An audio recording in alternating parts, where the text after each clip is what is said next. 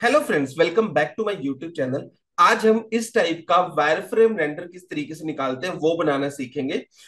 जो बहुत इंपॉर्टेंट होता है, अगर कहीं पे भी अगर आप कंपनी में जॉब करते हो तो इस टाइप के रेंडर आपको निकालने की नीड पड़ सकती है।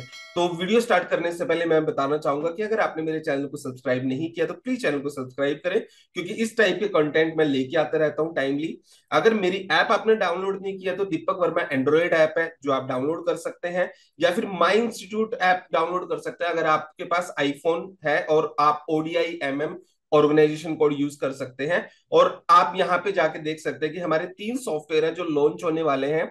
AutoCAD plus Revit diploma in interior designing and AutoCAD three D experience ये आप लॉन्च होने वाले हैं। ये यहाँ पे जाके आप देख सकते हैं। और अगर आप मेरी साइट विज़िट नहीं किया तो वन विंडो सोल्यूशन है। आप वहाँ पे जाके साइट विज़िट कर सकते हैं। और बहुत सारी चीज़ें जो वहाँ पे आपको एक्सप्लोर करने को मिल जाएँगी। तो चलिए दोस्तों, आज की वीडियो स्टार्ट करते हैं।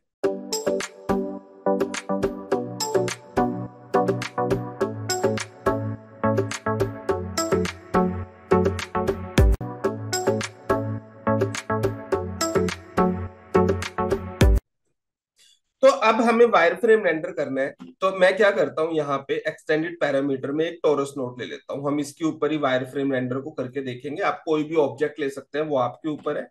अगर आप देखोगे तो इसके वायर फ्रेम इस तरीके से हैं। इसको थोड़ा स्मूथ करने के लिए मैं इसको कर लेता हूँ टर्बो स्मूथ ठीक है आप आ, क्या नाम है टी पॉट ले सकते हैं। कोई भी ऑब्जेक्ट आप ले सकते हो जिसके ऊपर आपको वायर फ्रेम रेंडर को अप्लाई करना है। ठीक है? ये करने के बाद मैं इसको फ्रंट पे जाता हूँ और थोड़ा ग्रिड के ऊपर रख लेता हूँ कुछ यहाँ पे। और रखने के बाद मैं इसे यहाँ पे जाके एक लगा लेता हूँ वीरे पे, वीरे प्लेन ठीक है? और एक लगा लेता हूँ लाइट के लिए वीरे लाइट और डोम लाइट यहाँ पे मैंने डोम लाइट ली। डोम लाइट की इंटेंसिटी वन है, मैं टू कर देता हूँ। कैमरा में कोई नहीं लगा रहा हूँ क्योंकि हमें सिर्फ़ वायर फ्रेम रेंडर देखना है। मटेरियल का काम है सारा।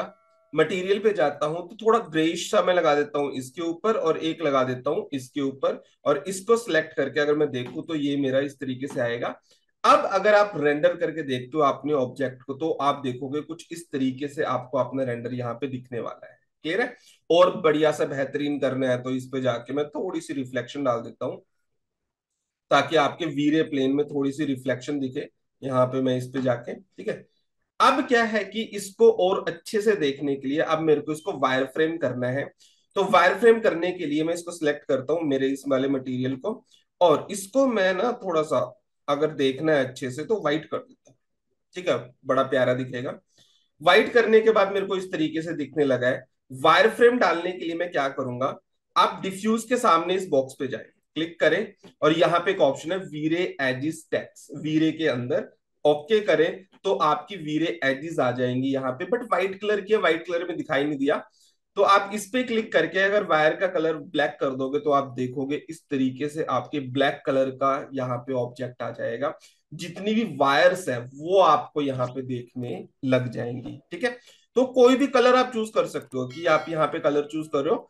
कोई भी कलर जो भी आप कलर लोगे, वही कलर आपका यहाँ पे आ जाएगा। अब मैं ब्लैक लेता हूँ ब्लैक बड़ा अच्छा लगता है।